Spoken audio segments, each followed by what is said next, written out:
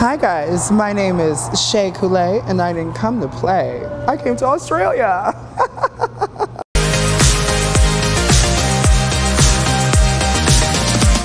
um, well, I asked the same question to Beyonce and she never answered me. But if I were to think about what it would be like to be perfect, I think it would be awful. Because the pressure to constantly be perfect would probably just crush me. So thank God I'm a flawed human with bad breath and big feet. I came up with my drag name because my middle name is Shea. Um, it's Swahili, it means beautiful boy. And I picked Couleé because um, it refers to this African riddle that's just about building unity and community. And I think that that's what drag is all about.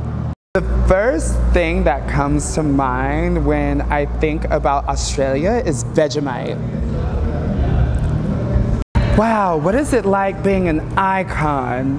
Um, it's fabulous. I get to travel all around the world, meet fabulous people, perform, wear cool outfits, and uh, yeah, I get a lot of free miles. It's really, really amazing.